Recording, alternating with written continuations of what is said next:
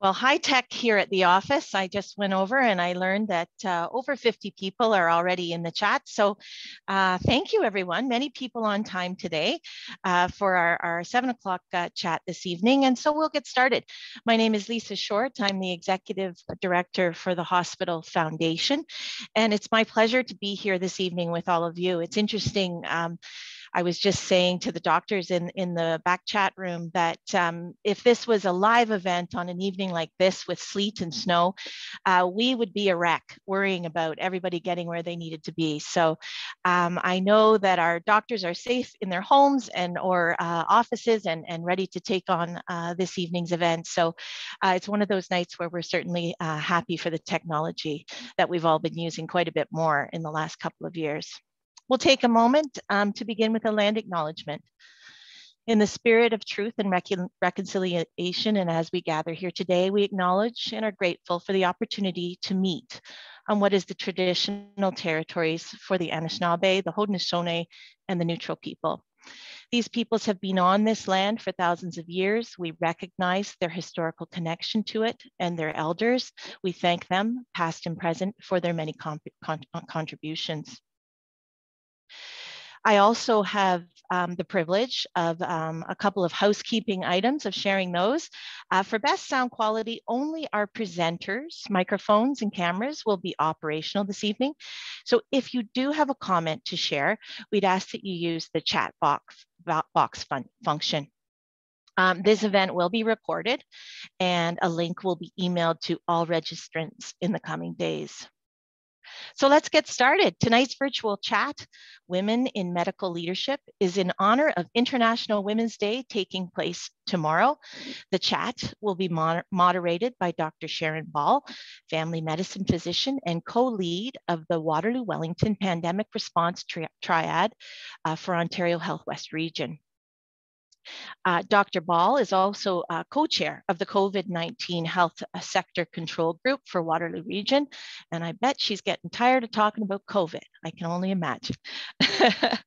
Joining Dr. Uh, Bal is Dr. Kirsten, uh, Kristin Wadsworth. Uh, she's the Chief of Obstetrics and Gynecology here at CMH, and also Dr. Mekalai Kumanan, Chief of Family Medicine here at CMH.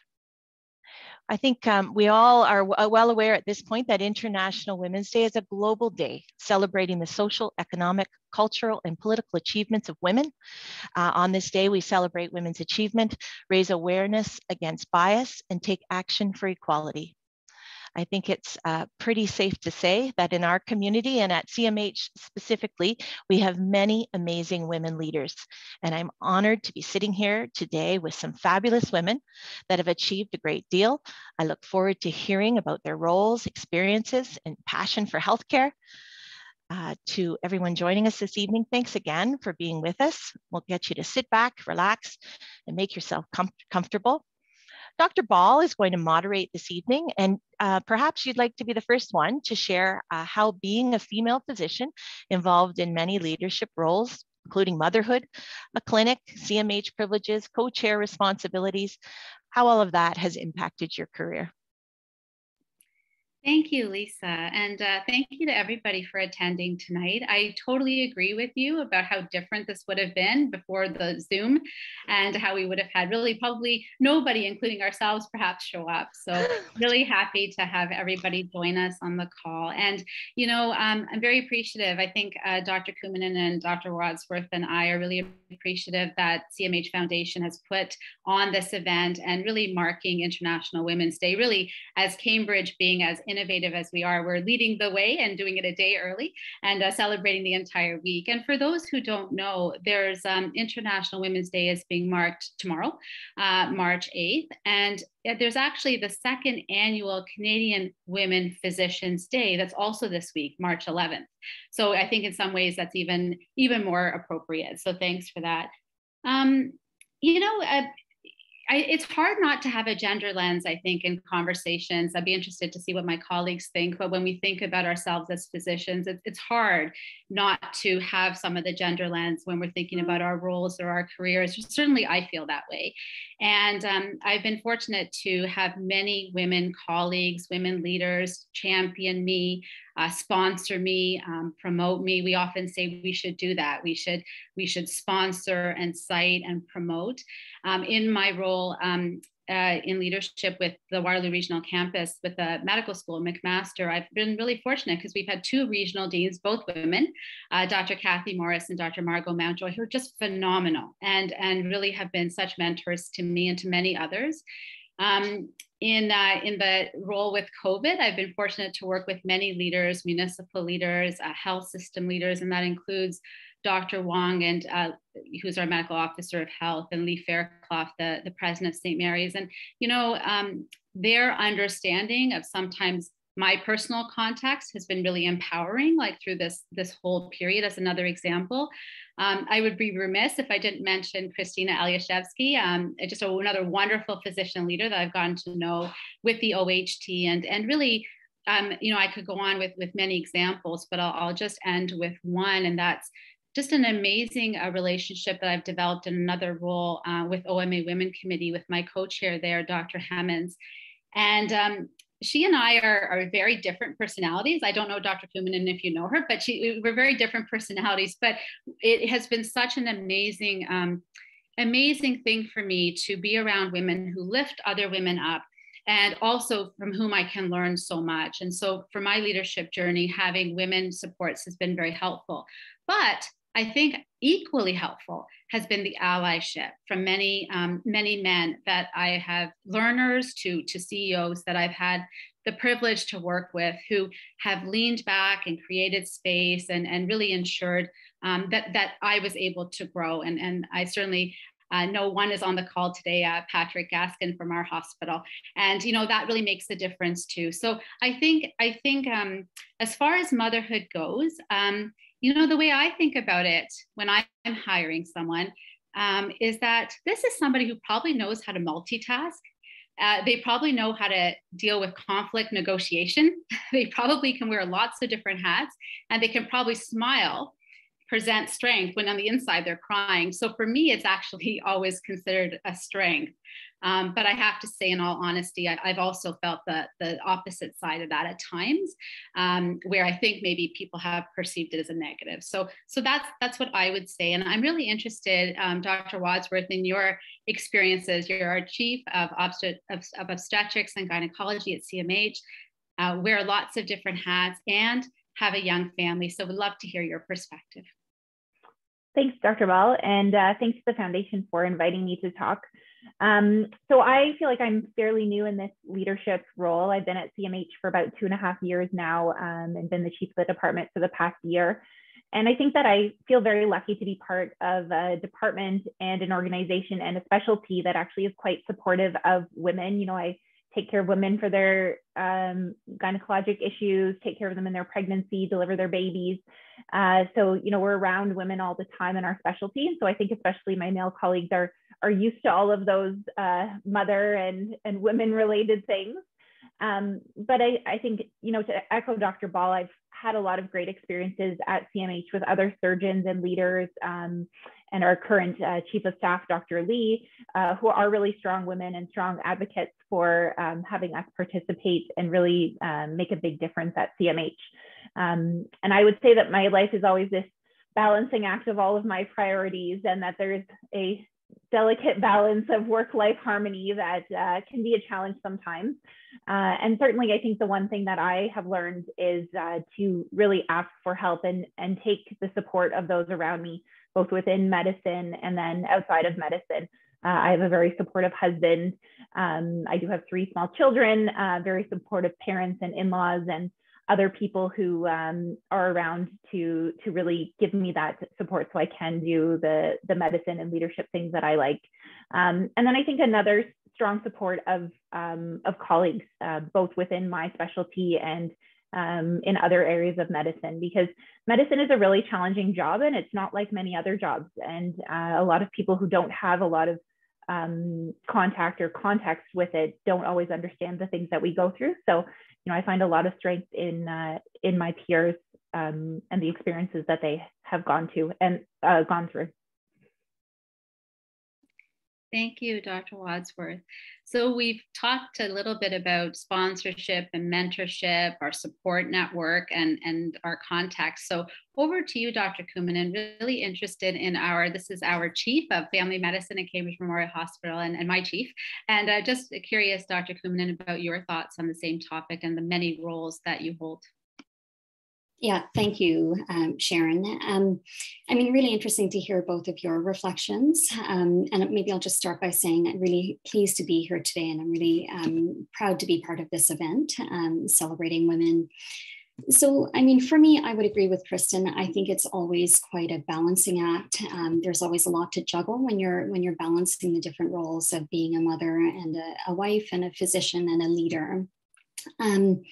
when I reflect on being a female physician, I think for me, it's been really interesting to see how maybe I've evolved and how I perceive that. Um, I know, you know, way back when I started in practice, it feels like a long time ago um, I really uh, ran with this assumption that I would be able to keep my personal and professional lives completely separate. And I, I thought that's what I would want. Um, and then when I started practicing, I realized that wasn't such an easy task. Um, you know, within my first year of practicing, I took a little bit of time off to get married. Um, and then shortly thereafter, um, had, you know, went through two different pregnancies, had my kids. Um, and I realized, I think, with every significant life event, that when I came back to work, my patients were really interested in knowing how things went. It was almost as though that relationship that I was building with them um, became quite reciprocal, and they really wanted to know that my kids were well and that um, my family was doing well. Um, and, and so I think for me as a female physician, it just made me realize that, um, you know, being a wife and a mother and um, my patients having some exposure to that, I, I've often put pictures of my kids up in my clinic rooms. I, I think it just made me a real person to them um, and, you know, made me a bit more human, um, which, you know, ultimately to me is a really good thing. Um, I also have noticed, I, I really think that, you know, we get a lot of credibility as mothers. Um, so I, I, definitely noticed when I came back to work after having kids that, you know, it was more likely that patients would say to me, well, what, what would you do in this situation? And what would you do if this was your child? Um, so I think by virtue of being a wife and a mother, I've sometimes been able to actually harness that and, um, you know, use it to, to gain trust from my patients. Um, when I, when I think about being a female physician in leadership, um, I think I would, you know, really echo some of what's already been said. Um, I feel so incredibly fortunate to be surrounded by so many amazing um, women leaders, including those here today um, when I look at the you know CMH uh, tables that I sit at, um, certainly there are an awful lot of um, female physicians in leadership. Um, I also currently serve as the president elect of the Ontario College of Family Physicians, and our current president is um, a woman who's also juggling similar um, priorities as I am. She's got kids at home, um, and we've been fortunate to have you know many previous presidents who've been in similar positions. Um, so I, I think for me, I, I feel like, you know, most of the time I'm able to strike a bit of a balance, although I will acknowledge it is a moving target. Um, and, you know, like Kristin, I am quite appreciative to have a really supportive husband um, who is not in medicine, but I think has come to appreciate that we don't really keep nine to five hours in our world. Um, so yeah, it, it's it's always one of those tricky things that requires a lot of juggling and effort, but very rewarding. Thank you. Um, it's interesting um, to pick up Dr. Kumanan your point about um, about the credibility because I remember um, when I first started, I didn't have children, um, and I was trying to calm a mom who had come in because her child was up all night, and and I was telling her I've looked in the ear, there's no ear infection, and I said, and I just sort of started saying, um, I know it's very hard to be up all night with a screaming child. She goes, Do you? Do you? And then I I really didn't. And it's so interesting because I say the same thing now and the deep empathy that I have um, on how that feels like it just feels less rote. And I think that there's the credibility and there's also, I think, just the incredible empathy, right, that we develop with our patients as, as you know, we age in some ways along with them and go through that life journey. So that really resonated with me. Um, our community is not always aware of what we do because so much of what we do takes place behind the scenes, right? And so, for both of you as chiefs in your department, I was wondering if you could talk about what a typical day looks like for you. If you want to highlight a, a, special project that you or your teams are, are doing, you know, things other than direct patient care, and really um, what you do in your roles. So, maybe I'll start with you, Dr. Wadsworth, if that's okay. Yeah. So, I mean, everyone knows that we deliver babies, which is a really important job uh, that we have at CMH. Uh, but we also do a lot for gynecologic care in our community. So, we help women who are having heavy periods, prescribe birth control. Uh, we treat many cancers here locally. Uh, and then my subspecialty, I um, have done extra training in dealing with urinary incontinence and pelvic organ prolapse. So we really see women, um, you know, from the very young adolescents dealing with early period issues all the way up to, you know, I have patients that are in their 90s. Uh, so it's a real spectrum of of things that I get to do. Uh, and for me, every week is different. Uh, there's some kind of combination of days in my office. Uh, we do on call for 24 hours, where I'll spend 24 hours at the hospital delivering babies, dealing with gynecologic emergencies, uh, and then operating. So doing things like hysterectomies or bladder slings. Um, for me, in terms of chief duties, there's, uh, you know, i am learning a lot about administration and those kinds of things, which we don't get a lot of training in in medical school. Um, so lots of uh, things like meetings and looking at guidelines and policies, dealing with patient concerns related to care that they may have had at the hospital, uh, and really kind of looking at where we want our program to grow. Um, you know, our, our, delivery numbers are going up in Cambridge. We have a beautiful new wing of the hospital. So uh, we're really trying to make it a really positive experience for patients and their families. Uh, in terms of exciting things, I mean, we're always delivering more babies and happy to deliver more babies and uh, really trying to look for uh, making our department uh, a really strong, great place to work um, and trying to, you know, get back to a new normal after COVID uh, of supporting our families, continuing to give excellent care um, and uh, and really make everyone feel like Cambridge is their community hospital where they can come to have their babies and have their surgeries and really get excellent care for the, the women in their family. Thank you for that glimpse into the breadth of the role. So, same question for you, Dr. Kumanan. Um, yeah, I think you know when I when I look at my department, we are somewhat unique in that we are, um, as family physicians, primarily community-based physicians. Um, so um, I think a big part of what I do in my role um, as the chief of family medicine really does connect back closely to, to our day-to-day work as family family docs. Um, so a key priority really is supporting family physicians in my department and ensuring that um, you know we have the collaboration that we do with the hospital and that we have the tools and information we need in order for our patients to access care um, you know in as seamless a way as possible. And i'm thinking particularly when we're looking at transitions from the community to the hospital and back um, I think really just trying to benefit and maximize um, being part of a, a, a close knit medical community where we have that um, really collaborative relationship with the hospital. Um, terms of a typical day for me, it, it's interesting that you ask. It actually um, reminds me of a conversation that I had with um, Dr. Ree when he was chief of staff. Um, so I was speaking with him about the chief of family medicine role before I um, took over. And I, I, mean, he was so incredibly supportive. Um, and I, I, remember him being very clear that um, while the position is you know, approximately about half a day a week, or anticipated to be about that in terms of workload, um, he really recognized that you know, many of the female physician uh, physicians who are also in chief positions don't really set aside a dedicated half day, but rather often will do that work. You know, I remember him framing it exactly as, you know, once the kids go go down, he he sees a lot of emails come through, um, and I, I, think just having that conversation with him um, really made me feel like, okay, this is something that I can do. I've got young kids at home, but clearly he understands the need for that balance. Um, so for me, I, you know, a typical day often is a busy day in the clinic, seeing patients of all ages like Kristin, um, and then weaving in my leadership work um, either into the evenings or, you know, booking meetings for the day as needed. Thank you. And I, I think that's a great example actually um, of allyship uh, just Dr. Ree kind of creating that space and that and that um, and that safety, right? And and and then you, of course, sort of seeing yourself um, in the role, what something he had already already seen, obviously. So that's a really nice anecdote. Um, on that topic, uh, as we're talking about our, our, previous chief of staff, and we have a wonderful interim chief of staff now as well, and, and Dr. Winnie Lee, just wondering um, what brought you to Cambridge Memorial Hospital. Maybe I'll, I'll start with you, Dr. Kumanan.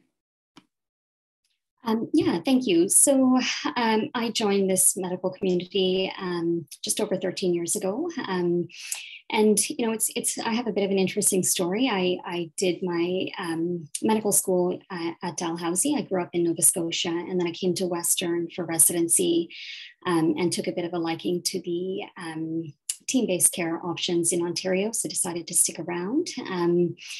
So I, I looked um, at many different communities before deciding on Cambridge. And when I met with the physicians in my family health team, and I think I see Russ Ashton and Jay Geddes on here, um, you know, really it was a good fit for me within that family health team. But definitely um, a big selling point was the relationship that our um, the physicians within my family health team had with the hospital.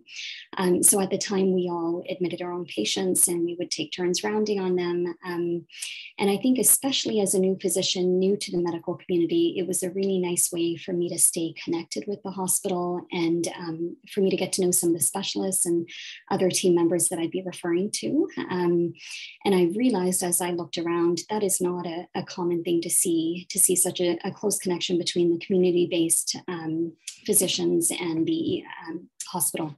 So that was that was my story, and definitely um, knowing that I would be able to have that connection was quite a draw for me to to join this medical community. Thank you, uh, Dr. Wadsworth. So I um, actually grew up in Markham, and my great grandmother lived in Paris. So I used to drive through downtown Galt on my way to go visit her. Um, and then after I did my medical school in Toronto and my residency in Kingston, uh, I came back to Toronto to do extra training. And then um, I knew when I wanted to set up a practice that I wanted to uh, practice in a community where I could live, where I could be involved in community and hospital events. Uh, and there was a job posting um, for CMH looking for someone in the OBGYN department uh, who had extra training in urogynecology, which was my subspecialty. So uh, I came for my interview when I was about two weeks postpartum with my second son, and uh, my mom and my two year olds and two week olds came and I came for my interview. I met most of the other members of my department as well as some other members of the hospital community. Uh, and it just seemed like a really great fit. It seemed like a very supportive environment, uh, lots of really great, passionate people uh, within the specialty, within the surgery department, and within the hospital. Uh, so uh, I was I was really excited to come here. And then, you know, since then I've felt like it's a a great community place where we're doing lots of exciting things, but really it keeps that feel of us being able to work closely with other specialties um, and really feel supported in, in the medicine that we do for our patients. Thank you.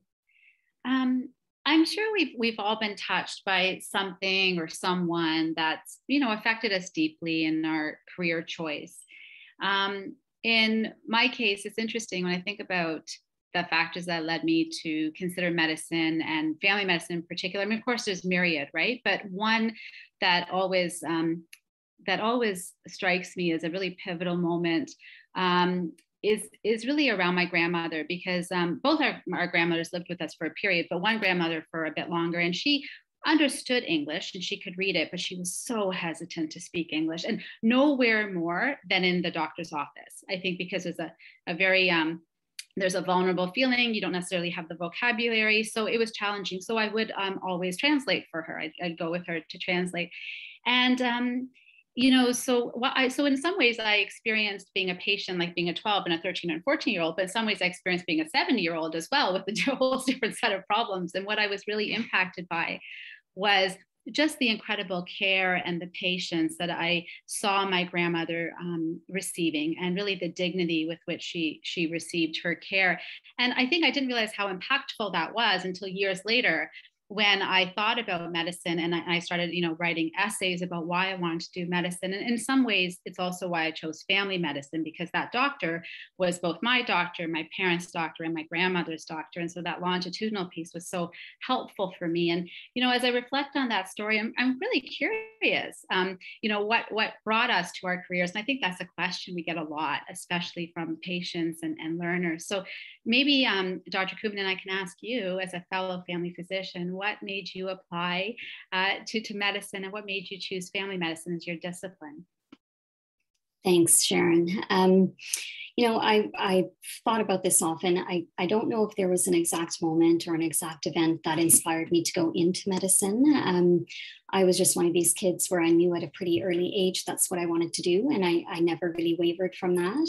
Um, you know, but what I will say is I had a, a significant um, personal experience um, as I approached my um, time in medical medical school that certainly did um, inspire, I think, me to become this sort of physician that I am today. Um, so, just in the year leading up to medical school, my mother was diagnosed with cancer. Um, and then, when I was just a few months in, she actually passed away. Um, so when I when I look back at that, I think it, like you, Sharon, it it really gave me um, that perspective of um, working through the healthcare system and seeing it from more of a patient perspective. Um, and you know, often that was um, you know, we had really compassionate, I should say, my mother had really compassionate physicians, and I think our family felt really well supported. Um, but I think even um, knowing that we had a number of really uh, supportive physicians, sometimes the system itself can be so difficult to navigate, and that definitely stood out to me. Um, and, and I think, you know, with my mother being as sick as she was, um, her illness helped me to understand how much um, a patient's illness impacts everyone around them, particularly their family. Um, and I will definitely say, you know, seeing some of the physicians who cared for her and, and how compassionate they were and their, you know, really amazing bedside manner, I think that's really influenced how I approach um, patient care as well. Um, so as much as it, it you know, that um, experience didn't um, guide me into medicine, I think it really did shape the kind of physician I, I am today. Um, now, how I chose family medicine was, you know, a bit less of a clear path. From the time that I was, I think it was preteen and knew that I wanted to go into medicine, for some reason, I seemed to just know that I wanted to be a pediatrician. Um, and I was a pretty headstrong kid and never really wavered from that. Um, so when I got to med school, I, you know, eventually stacked all of my electives full of pediatric rotations across the country and was very enthusiastic. Um, and then I got to a few rotations in third year where I didn't have a choice and I was assigned a geriatrics rotation. Um, and I can tell you as a, as a young um, medical student, I was pretty upset and really just could not fathom why I would be assigned a geriatrics rotation when I thought everybody knew that I wanted to do pediatrics. Um, so, you know, I showed up, I did what I was supposed to do, showed up to the rotation, and um, you know, really um, worked with an exceptional geriatrician who um, cared deeply about his patients. And I think it just, um, that experience helped me to see that I did not want to actually not care for a subset of the population. Uh, so I, I, realized that as much as I really wanted to work with kids, I could still do that. And also, um, you know, as a family physician, provide care to adults and elderly patients so at the last minute, I made a change and ultimately chose to go into family medicine um, and have really never looked back. Feel really um, happy that I had that experience because it really feels like a great fit for me. Thank you. That's that's uh, wonderful getting some insights into your personal story. Um, Dr. Wadsworth, how about yourself? What led you here? So uh, I would say I was always a, a, kid who liked science and reading and discovering things. Uh, and my family is actually full of teachers. Um, but to me, what sort of led me to medicine is that it is kind of a blend of that teaching, learning, science. Uh, you know, you're teaching patients about what's going on with them, teaching medical students and residents. Uh, so I felt like it was kind of a good blend of, of my own learning and being able to teach as well. Um, and it also fits my personality. I'm, you know, anyone who knows me would say that I'm not a person who's very good at sitting still. Uh, I like doing things. Um, I don't like doing the same thing all the time. Uh, and that's what I really love about my specialty as well. Um, I actually started out medical school wanting to be a family physician. I had a really wonderful family physician growing up, uh, and I loved the idea of uh, taking care of uh, patients through, you know, different life events. Um, and then I got to see my first delivery when I was in first year, and I said, "Oh, this is definitely what I want to do." And I I still love delivering babies. Um, but then it was really when I was in third year and did my obstetrics and gynecology rotation that I uh, learned that I like doing surgery. I like dealing with uh, the gynecologic side of things, uh, and I really like the you know the the impact that I can have on patients. Um, you know, some of my favorite experiences are patients coming back after they've had surgery. They come back six weeks later and you know, pre-COVID, they give you a hug and bring you some cookies and say, thank you so much. You know, I can do this now, or I, you know, I'm not staying home the way I used to, you know, it really has made a big difference. So I like that, uh, you know, being able to do something and have, uh, have a really great outcome for, for a patient. Thank you for sharing that story. And, you know, we're very privileged at Cambridge Memorial, Memorial Hospital to be able to teach and, and, you know, to know that we have a regional medical school here. We have learners, residents. And so, you know, your story about blending those two uh, careers actually is very apt. And we're very lucky to have you in our community. Um, one, one question that uh, we get asked a lot is what do we enjoy most about our daily work? And similarly, the flip side, what do we see as some of our most significant challenges in our role as, as physicians? And so I'm, I'm wondering, um, Dr. Wadsworth, if I can turn back to you to answer that question. Uh, so I would say my patients are my favorite. Uh, so my, you know, I have a lot of older patients who I see for their um, urogynecology issues. Uh, you know, I really feel like I can make a big difference in their quality of life and what they're able to do. Uh, and then I also love, you know, my younger patients who uh, are pregnant, they're starting their family, you know, they're anxious, they're nervous. Um, so it, it's kind of nice to make those connections with patients. Uh, and delivering babies is like you know i had a, a, a physician i worked with as a medical student who said think of what is not going to make you mad when you get woken up at three in the morning and then that's the specialty you should pick. And i'm never mad to deliver a baby at three in the morning. So so that part uh, so far has not gotten old. Um, you know I, I think there are many challenges in in medicine. The things that i find challenging are when there are complications or there are you know bad outcomes uh, which is the reality of of our jobs. Um, you know, there are many moving parts and things don't always go perfectly or as you plan them to be. Um, so that can be very challenging to help a family through that. And then also, you know, for myself as a as a physician, um, those those times are very challenging. Uh, and then dealing with you know things that are often outside of my control so uh, human resources challenges other resource challenges uh, you know, in medicine uh, through the hospital, uh, dealing with pandemics. Um, you know, those kinds of things are very challenging when you feel like you want to do your job, um, but there are so many outside factors affecting your ability to be able to do it. Thanks for that thoughtful answer because, um, you know, you've layered patient realities along with you know what's going on um, and as well as sort of um, system issues that that we have to deal with moving forward. And so it kind of gives i think a, a different perspective than than often we think of when we think about medicine. Um, dr Kumanan, same question to you. Um, you know, I, I almost just want to say ditto with the challenges. Like it's, you know, those system challenges and difficult um, scenarios really can make our, our make, make our jobs feel pretty tricky at times. Um, but maybe I'll start with the um, parts that I really love. I mean, no doubt it's it's the patient care piece. Um, I, I, think in family medicine, you know, really it is having that relationship with our patients over a long period of time. Um, and, and I think what I find um, just honestly really amazing is just how much patients trust us.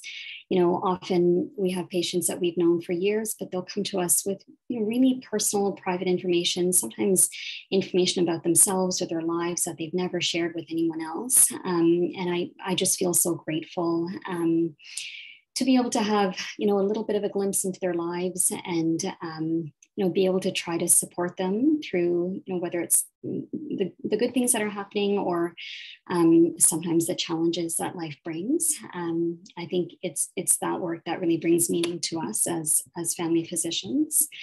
Um, I think in terms of challenges, you know, I'd say it's it's that connection and the investment we have in our patients that um, can sometimes be a bit of a double-edged sword. So you know when we are uh, have gotten to know our patients over years and then we we see someone have a bad outcome or have to break bad news i think it can often be really hard to then um, you know try to manage that but then also come home to our family and and give our families the attention and and um, energy that they deserve.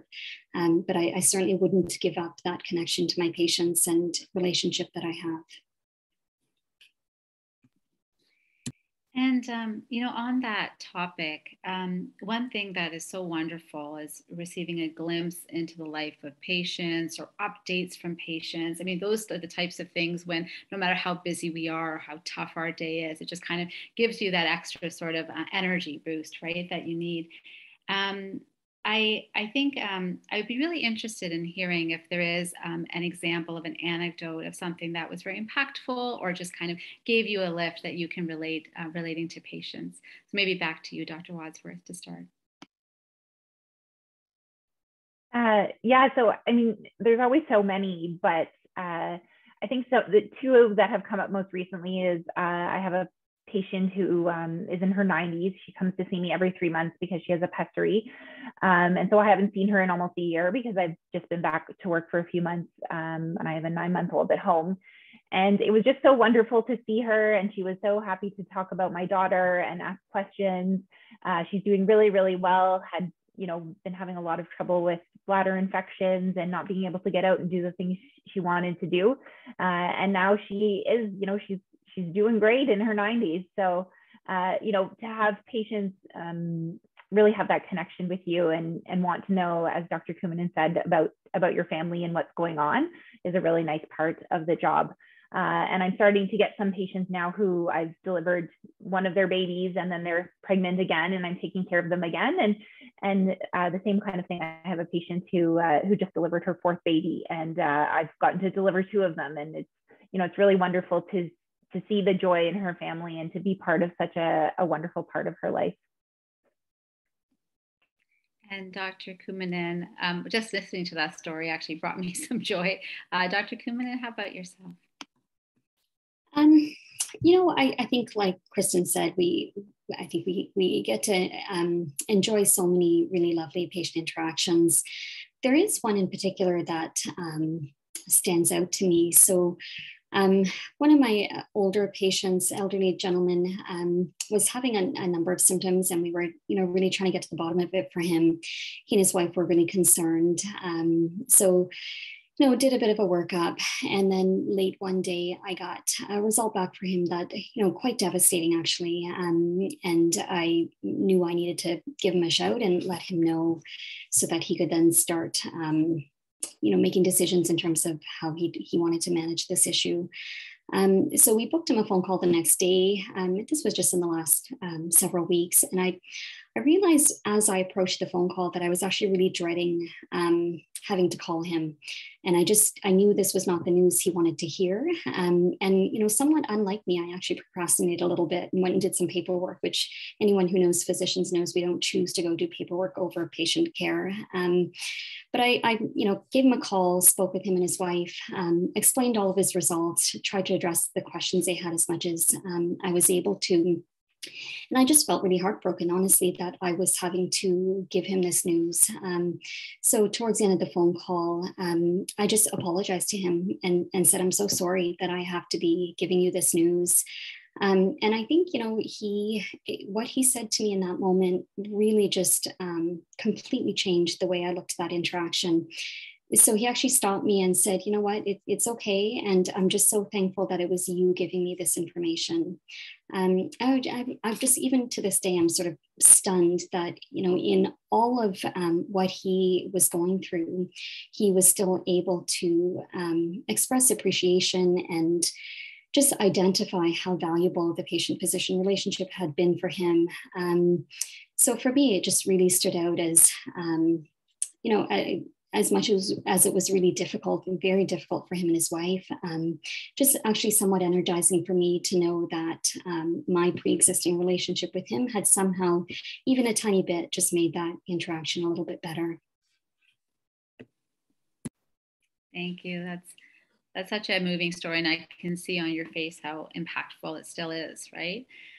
Um, one of the sort of switching gears a little bit, um, Uh, in terms of let's try to reflect on our role as CMH Foundation ambassadors, because all of us here are um, ambassadors and we lead conversations in the community to educate and inform um, everyone about our hospital, um, its importance, the excellence in care it delivers, and also um, to have um, really those conversations around donations, which our hospital needs. And so I, I think probably our audience would be interested in what led you to become an ambassador and why your roles as ambassadors are important. Um, so maybe I'll start. maybe I'll change things around a little bit. Um, and uh, for me, actually, what was interesting was um, it was a, it, similar to Dr. Kumanan. It was a patient encounter. So somebody was quite ill, and I was making a referral to CMH, and they asked me um, do you think we should go to CMH? Like, what hospital would you go to? This is very serious. Would you go to another hospital if it was your family? And, um, you know, I, I looked at them and I actually was really surprised by that question. So I said, you know, I delivered my daughter at CMH. Uh, my little guy, when he got sick around two, three years of age, I brought him to the Emerge at, at CMH and he was admitted to the pediatric floor. Um, and, you know, when I had severe pain in my eye, I went to the emergency department and was told I had iritis. I mean, this is our local hospital. This is my hospital. This is where I take those that are most precious to me, whether it's my own family or my own patients. And, and that really is, is that belief in our, in our hospital knowing the excellence in care and this and, and the equipment and you know as dr wadsworth said the you know cutting edge pieces we do in terms of our technology and teaching but it's really just that that faith that i hope that folks feel when we're making those referrals and that's really why i want to get more involved. And so with that said just turning um, dr wadsworth to yourself um, what were what were your motivators to become an ambassador? So you know i also agree you know this is uh, this is where i live. I take my kids to emerge here when they get stitches and when they have croup and all of those kinds of things. Um, and and i think the other thing that's important to me is really being able to share the message that we really need support uh, from our community and from donors. Uh, there's so much that goes into running a hospital that I don't even have any idea about. I feel like I'm just starting to learn. Um, and really, the foundation um, is a huge part of that in terms of funding patient equipment. Um, and patient care. So, you know, we really need uh, the people of Cambridge and people in the area uh, North Dumfries, everywhere else to to support us to do the things that we want to do. And I think that most people don't don't realize that they think you know you build a hospital and and things will kind of run, but there are so many different parts um, that uh, that are involved in it. And uh, Dr. Kumanan.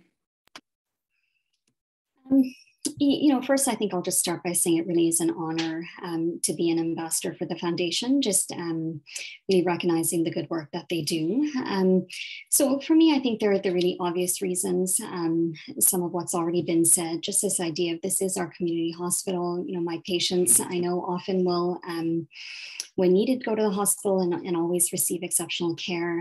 Um, I, I, also have my own personal reason that I think when, when I looked at becoming an ambassador, it just it seemed so much um, more meaningful to me. Um, so 10 years ago, my son was born at CMH prematurely. Um, he was about 33 weeks, or he was 33 weeks at the time. Um, and for those of you who don't know, um, health professionals make really bad patients. Um, so I did what any good physician would do. I went into labor um, and then went into complete denial um, and then just continued to work through my clinic day. Um, and then realized at the end of my clinic day that maybe I should seek care. so presented to CMH in the evening and kind of presented myself where it was clear that uh, we needed urgent help. So kind of put the, the team in a bit of a bind. Um, and you know, ultimately, ultimately, my son uh, was was very healthy, just premature, and needed some additional support. Um, eventually, got transferred down to McMaster. Um, in the NICU there, then kind of did a bit of a tour of local hospitals, went to Guelph and then back to Cambridge. Um, but I, I, think the point of my story is just when we needed it the most, um, it's just amazing to me how quickly um, the team at CMH um, jumped into action. And, you know, everyone was focused on making sure that my son um, was healthy and got what he needed and that I was taken care of. Um, and I have to just say, while I'm telling this story, a special thank you to Dr. Strauss and Dr. Martinez, because, you know, every year on my son's birthday, I, I reflect back on just how amazing um, their care was and really how everyone came together to do exactly what was needed, um, despite me making some bad choices earlier in the day. Um, so I think just, you know, really looking at that um, you know, firsthand seeing how um, we got exactly what we needed and more when we went to the hospital. Um, it just really makes being in this role so much more um, meaningful for me. Thank you, and agree wholeheartedly that healthcare professionals make the worst patients. That's for sure, doctors and nurses alike. Um, I'm just looking at our time, and I feel um, I feel that you know even with my colleagues, I've gotten to know you so much better. So I, I really appreciate your answers. Um, Lisa, I see a, a, question in the chat, and uh, just wondering, it's I think an important question. I'm happy to hand it over to you, or if you'd like me to ask it, I'm fine with that too. Well, yeah, I'll, i can I can step in, and uh, I had a little chuckle about health professionals making bad patients, so that was that was kind of fun, and I was glad to be on mute. But um, the the question that is in the chat is about um, what would you say to any woman interested in entering medicine? An interesting question. Uh, I can start. So what I would say is that it is a great job, but it's a it's a hard job.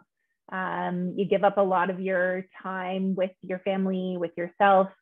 Um, it's it's certainly not easy, but it's very rewarding. I think surrounding yourself with both mentors and peers who are going to be able to support you, um, having friends and family and and other people outside of medicine as well that can support you are really important. Um, and you know, realize that it's it's a an amazing experience, but um, but it takes a lot to to get there, and it certainly is not for everybody.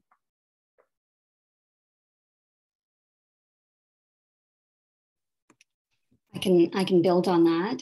Um, I, I, would definitely agree with what Kristin has said, um, and I, I, think the part about family, just recognizing that you know I think we expect a lot of our family members as physicians, and that probably applies to both um, male and female physicians, but certainly for me, um, I think, you know, I'm, I'm so lucky to have a really supportive husband. And I, I think what makes such a difference is he knows how much the work that I do is important to me and how much I value it. Um, and, and I think my kids do too. My son is 10 and my daughter is eight. Um, and I think they know when I'm not, you know, when I'm not available to be, you know, being a being a mother to them, it's because I'm off doing something else that's really important. Um, so I think that maybe brings me to my next point. Just it has to be something you love that you really want to do. I think, like Kristin said, you know, you need to be willing to wake up at three in the morning to do this work, um, and and still love doing it. Um, and I, I think the pandemic has helped us to to really connect back to you know finding our why you know, why did we go into medicine what what is the the higher purpose for us and what keeps us going um, including when the times get tough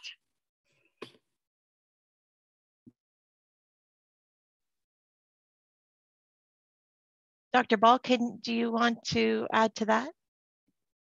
Um, yeah, I think um, I, I, think you know we want to encourage. I, I, would definitely want to encourage girls and women in STEM and in medicine, but I think you know to be very honest, it is really challenging. Back to back to what both my colleagues said. That's not to say that we have insurmountable challenges at all, but I think that it is something conversations I have with learners all the time when they're trying to pick their specialty um, and when they perceive barriers in their specialty. And I think that, you know, we would be remiss if we didn't say that there are challenges for women physicians for sure when we think about the balance, the disproportionate amount of work that sometimes we have to take on at home, um, you know, just speaking broadly, maybe sometimes expectations, um, even sometimes um, in, in clinic and, and certainly you know when we're doing family planning like those are common things and themes that a lot of a lot of um, learners and, and residents will bring up and even practicing physicians. And i think there's a little bit of guilt as well. Like i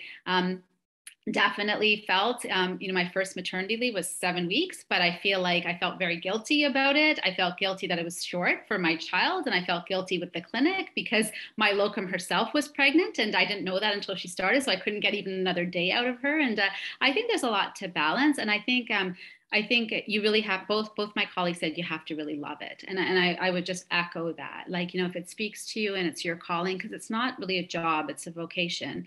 And, you know, if that piece um, really speaks to you, I think all of those things with good mentors and, and colleagues is really um, something that you can get past. But it definitely has its challenges. And I think it's not for everybody.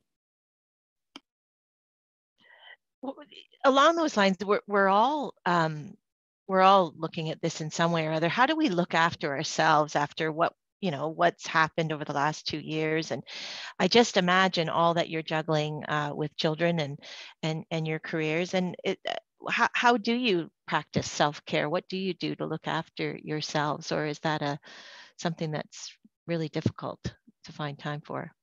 Maybe i'll start with you dr Bal yeah, I don't know. I think we're all um, we all bristle at the words resilience and balance, or at least I do, and I and I don't want a module on it. But I would say what keeps me a bit young, and and I liked the way Dr. Kumanan put the put what is your why um, is really the kids for me like my my children who really i think have good careers ahead of them as comics if they were ever interested but definitely um, it's that you know i think we've all experienced it we come home the door opens before we've even parked the car in the garage and you see these two excited faces and and, and you know as you listen to their day um, you know, and, and, you listen with excitement, they ask you about your day. And if that was the first question, you'd probably be a bit grumpy. But after you sort of wind down, you realize the privilege I think that you have. And and I know for me, it's it's the balance is really from from the amazing privilege of like seeing these two, you know, um, 12 and, and 15 year old, good gracious, going to be out driving at some point. But but these these young people um, kind of on this journey with you, and um, and they do. They're they're part of the team. They're really part of the healthcare team in some ways in our house because they make us um, the people that we are, and I, for me make me a better physician. So I would say that that's my energy for sure is from my my little ones. Mm-hmm. Um, oh, sorry. I was yeah. Go ahead, please do. That's perfect yeah, I, I, for me, I, I, think I immediately think about family, and I, I would say um, I, think my family really keeps me grounded. They keep me honest. Um, you know, my my kids um, definitely sort of what Sharon described. Like, you know, they're always thrilled to see you, um, and that it just doesn't get any better than that. Um, and you know, they, I, I find I, whenever I'm around them, I definitely have a smile on my face. And I've, I've come to learn my husband likes making me laugh. It's one of his daily goals as well. So, you know, I've got it pretty good at home. Um, and I think that really just makes a huge difference. Um, know, not not that we need to find our why as a family, but um, on a lighter note, my daughter recently has discovered um, Harry Potter, and um, so we've we've gotten into the movies. That's been you know a, a, very important priority in our home on Friday nights to to watch a bit of Harry Potter, um, and I'm just proud to say I think one of the things that keeps me smiling and young is um, when my kids break out a Harry Potter spell. I at least know a little bit more about what they're talking about. Yeah. So I think it's just those lighter moments, you know, really enjoying the quality quality time um, with those we love. And uh, what I would say too is that I have really been focusing on uh, living in the moment when things are happening. Um, my kids are three and a half, five and a half, and nine months. So, you know, we're in the trenches, is what my husband will often say. Um, and, uh, you know, when I'm at home and I have those few hours after work before my kids go to bed, I'm you know, trying not to be on my phone, trying not to be looking at work things and really focusing on them and doing what they want to do.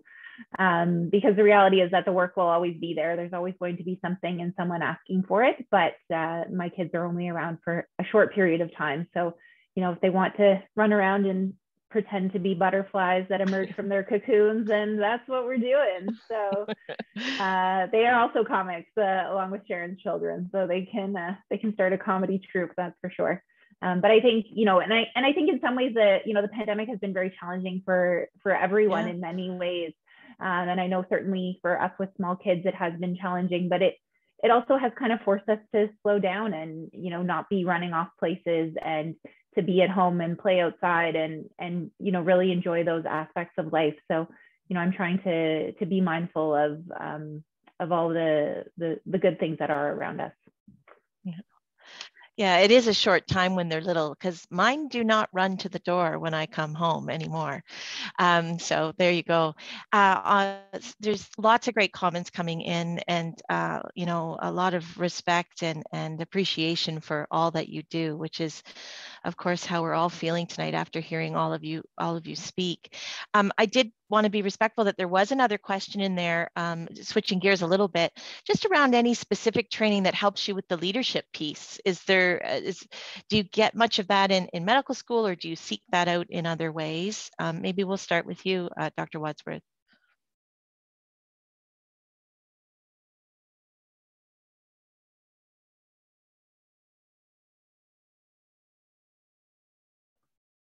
Sorry, having mute issues. Um, so I, I would say, I mean, we get a little bit in medical school and uh, get to do some some leadership roles as chief residents and things like that. Uh, but there isn't a lot of formal training. Um, I have been uh, starting to do, there are some courses through the CMA Joule. They have uh, online leadership courses that I uh, have started to work through on my own. Um, but then I also I take a lot. Uh, I mean, I my husband has an MBA. He's my business uh, person uh-huh. who is is uh, my my mentor for such things, um, and other people in other areas. I think that medicine is not always the best at, uh, you know, really specifically talking about leadership and and meetings and and being able to talk to people and hiring people and things like that. Uh, so I really um, have kind of drawn on the the different people in my lives who may have those skills, uh, and then and then seeking out some formal some formal courses as well, fitting them in amongst all the other things that we're we're trying to do. That's right. Dr. Kumanan, do you have anything to add on that or? Um, a, a, lot of the same, I would say, um, and and definitely, I think you know a, a great female leader um, told me way back when to just make sure I spend time with other really um, smart female leaders, and so that's what I do. And um, sometimes I find that's a whole lot more informative than than any course I could take. Yeah, yeah. Dr. Bal, did you have anything uh, to add as we wrap up here? I, I, think I think similar to to both of those answers, certainly with the CMA Joules courses and and a lot of informal mentorship um, for sure. Uh, but um, in I, I, was fortunate in the academic role to again have these two amazing deans and, and Dr. Margo uh, Mountjoy um, was, uh, you know, uh, supported me in um, getting some additional leadership training in this academic leadership program at McMaster. And I have to say, it was very helpful. It was a, a, very intensive course and really bonded with other folks for that role. That's been really helpful for me um, and I had some transferable skills. But I agree with uh, Dr. Wadsworth. I think that's something that we don't really learn and or we don't necessarily get access to except in some situations. And sometimes you know again it's hard to kind of fit on the fly. So in some ways i wish it was a bit more baked in uh, for us. Yeah. Yeah. Well, I, I can't thank you enough um, for joining us this evening, supporting the foundation in this way, and giving the community some of your time this evening to learn more about you and uh, what you do and why you do what you do. Boy, are we a stronger community because of the three of you. Uh, we are so blessed. Uh, the fact that you made a choice to be in medicine um, and some of the decisions along the way that helped you get there and, and some of those moments with grandmothers and, and family, like, uh, you know, what a gift that you're now and uh, that you're now choosing to share with the people of our community. Happy International Women's Day. We're the first ones out of the gates to say that for tomorrow morning. And thank you to all of you for joining us uh, this evening. We really appreciate that you have joined us. And this is one of the drawbacks of the virtual chat. We don't get the applause at the end, and we don't get that sense of being all together at the end of, a, of an event. So that I certainly miss, and I look forward to getting back to things like this uh, in person with all of you. But it sure does have a purpose on a night like tonight. And again, thank you for your time to each and every one of you. Dr. Wadsworth, Dr. Kumanan, and Dr. Bal, a special thank you to you for, for joining us this evening. Thank you. Good night, everyone. Thanks, everyone.